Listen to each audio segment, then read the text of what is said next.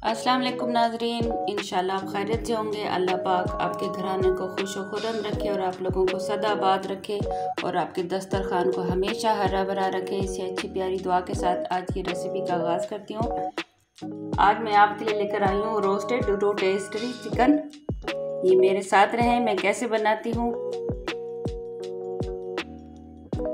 ये मैंने चिकन लिया है फुल इसको इस तरह से आपने कट लगाने हैं बसमीम गहरे कट लगा रही हूँ मैं, ताकि हमारा मसाला अंदर तक ये इसमें हम इसको जब लगाएँगे तो अंदर तक इसमें ये चला जाए।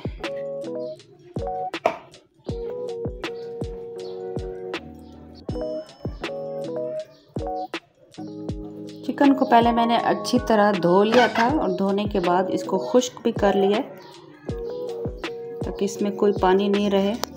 और कट लगाते हुए ये ध्यान रखना है।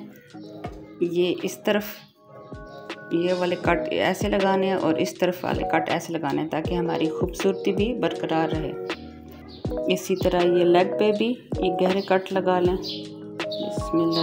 रहीम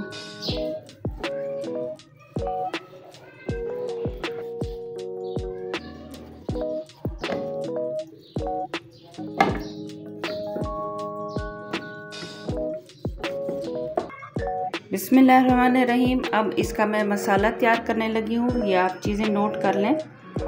ये सब चीज़ें मैंने वन टीस्पून ही ली हैं। ये खुश्क धनिया, काला नमक नमक, ये काली मिर्च पाउडर, हल्दी, सूख मिर्च पाउडर, और ये मैंने लिया है मेथी, कसूरी मेथी ली है। ये ज़ीरा पाउडर, ये वन टीस्पून गरम मसाला। और एक चुटकी लिया है मैंने सुर्ख कलर।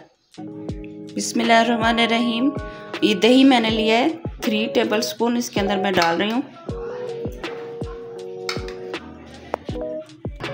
ये सारे मसाले जो मैंने अभी आपको दिखाए थे, ये सब इसके अंदर मैं डाल रही हूँ। इसको अच्छे से मिक्स कर लूँ मैं। रहीम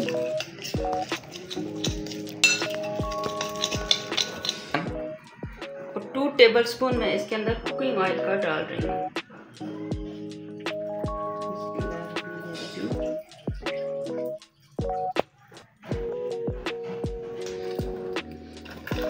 ये ऑयल इसलिए डाला है ताकि ये हमारा मसाला जब चिकन को लगे तो उसमें शाइनी लुक आए उसमें। और उसका टेस्ट भी ज़बरदस्त हो जाता है फिर।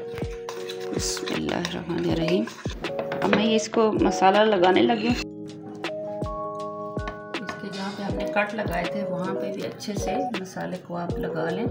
चाहे चमचे की मदद से लगाएँ, चाहे अपने हाथ की उंगलियों से लगा लें, ताकि ये मसाला अच्छे से अंदर हमारा चला जाए।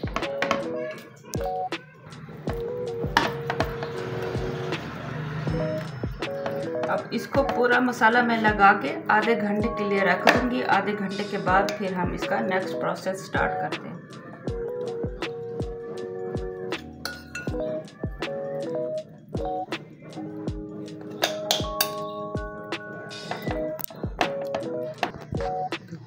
ये सारा इसको मैंने मसाला लगा लिया अब इसकी लेग्स को मैं बांधने लगी हूँ।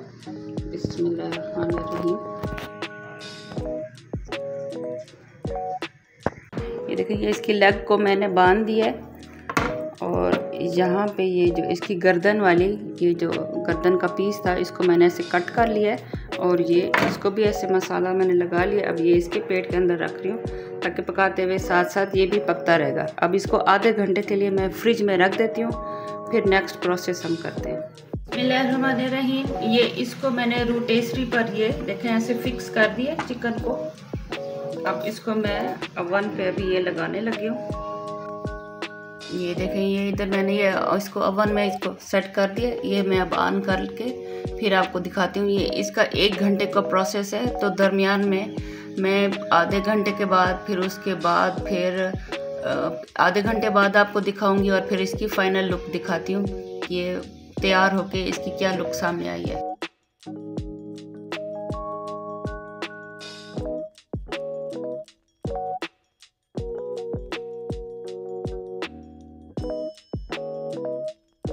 बिस्मिल्लाहिर्रहमानिर्रहीम आधा घंटा हो गया इसको पकते हुए इस तरह ये देखें, इसकी लुक अब मैं इसके ऊपर ना घी लगा रही हूँ। आप इसके ऊपर ऑयल भी लगा सकते हैं।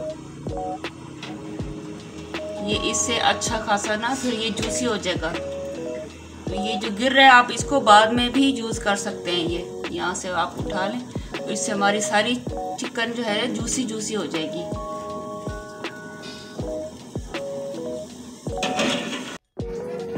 ये एक घंटा हो गया इसको इसी तरह पकते हुए। अब ये इसकी कंडीशन देखें, ये कितना जूसी जूसी सा हो गया, ये ऑयल जो हमने डाला है। और ये देखें, ये पक गया, ये गोश्त ने ये देखें हड्डी छोड़नी शुरू कर दी है, ये अब साथ किया अब माशाल्लाह ये पक गया अब इसको मैं ऑफ़ करके, अब इसको निकाल के आपको दिखाती हूँ। इसकी ये लुक चेक कर लें आप।